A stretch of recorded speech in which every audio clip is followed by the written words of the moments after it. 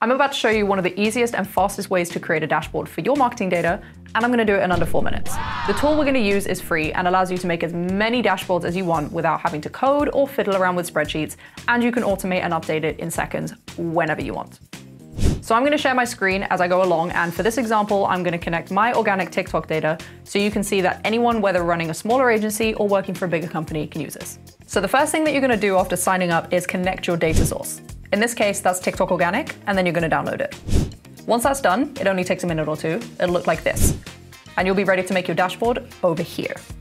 So from here, you're gonna click on Dashboards, and then Create Dashboard.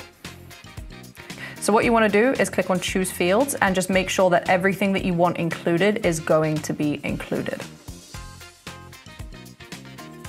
So when I look on here, everything's included, and Apply.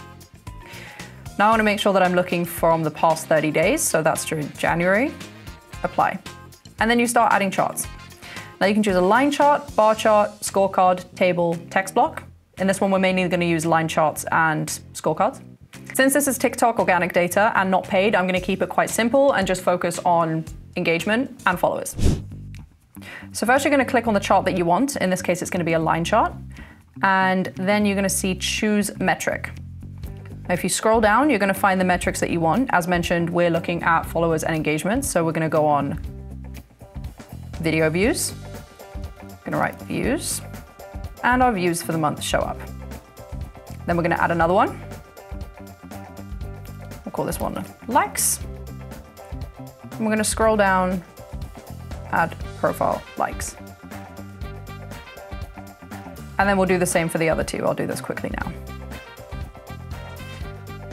And the final one we want here is net change followers, so we can see when we're gaining and losing followers.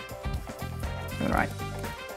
Now, if, for example, you want to see the amount of followers that you have altogether, then you can use what we call a scorecard here at the bottom. I'm going to choose the metric for that. And then you'll see the total followers will come up here. And if you want as well, you can use different ones. For example, the table, where you'll be able to add, you know, if you want everything in here, then you can just choose whatever metrics you want to show alongside each other. I'm just gonna add a few so that you can see the different kinds here. Now, of course, you don't want everything listed down like this, so we're actually able to move them around so it's a little easier for us to look at. You can make these as big or as small as you want. And there you have it. So as you can see, you can edit these if you want to, if you want to change the names or if you want to add different charts, whether it's a bar chart, maybe you want to put some text in there. And there you have it, your own automated dashboard in under four minutes in the same platform that your data is stored.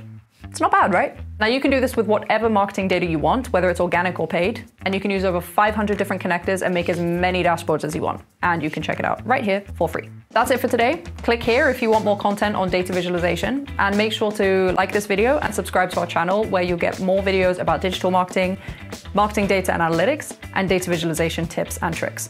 All the great content you need to shortcut your way to becoming a better marketer.